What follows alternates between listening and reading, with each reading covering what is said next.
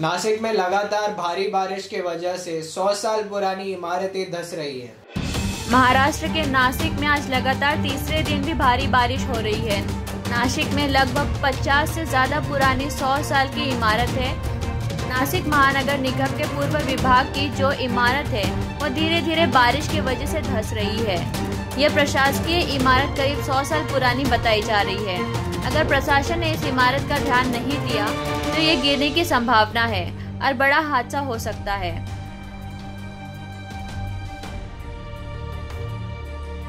आज दो बजे एक हज़ार क्यूसेक्स पानी छोड़ा है।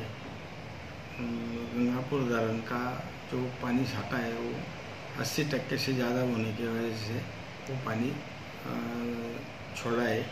इसके बाद में जैसे उसका स्टोरेज बढ़ेगा तो डिस्चार्ज बढ़ाना ही पड़ेगा।